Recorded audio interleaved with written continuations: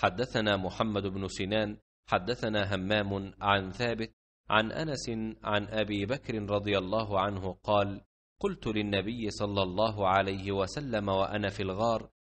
لو أن أحدهم نظر تحت قدميه لأبصرنا فقال ما ظنك يا أبا بكر باثنين الله ثالثهما؟